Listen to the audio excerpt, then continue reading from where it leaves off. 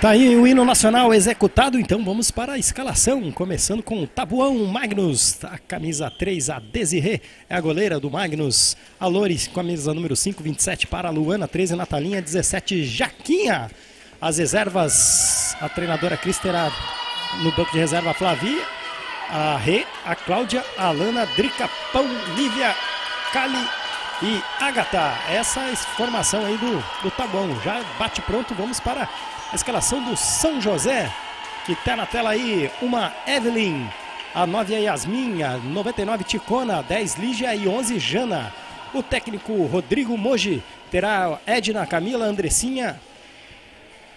E o Rodrigão vai colocar aqui, sem, sem crise. A Evelyn Calu, a Tamires, a Campra, a Julinha, a Dávila e a Romero.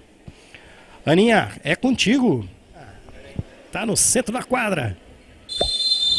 Bola rolando aqui no ginásio da Neva. Para Tabuão e São José. Lígia, nossa, dentro da área. Lígia e Lívia.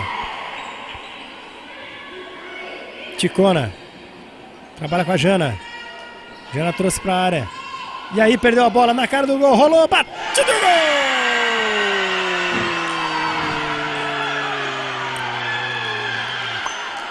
Lívia!